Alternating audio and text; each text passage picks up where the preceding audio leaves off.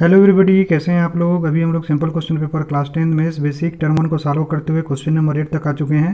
तो question number eight बोलता है कि the decimal representation of 23 divided by two to the power three और five to the power two will be ठीक है? तो याद रखिएगा, मान लीजिए कोई भी नंबर हो, चाहे यहाँ पर कुछ भी नंबर हो, अगर नीचे में टू और फाइव है ना, इसके पावर में कोई भी चीज़ है तो ये हमेशा टर्मिनेटिंग होगा, ठीक है?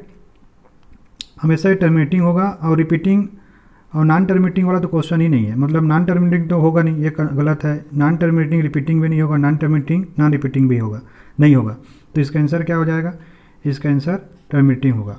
क्यों? क्योंकि यहाँ पे टू का पावर थ्री और फाइव का पावर थ्री है। और एक चीज़ और बता दे रहा हूँ, यहाँ पे जो टू का पावर थ्री है ना तो ये थ्री डेसिमल डिजिट के बाद टर्मिनेट हो जाएगा। ठीक है? क्यों ऐसा होता है? देखिए, मैं इसको एक्सप्लेन कर दे रहा हूँ।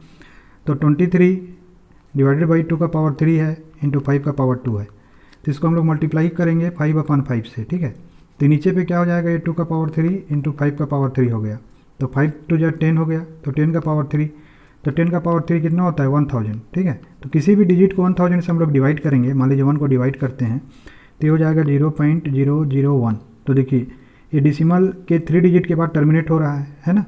तो ये पूरा इसका एक्सप्लेनेशन है। तो आशा करता हूँ ये वाला क्वेश्चन जो है काफ़ी अच्छे से आपको समझ में आ गया होगा।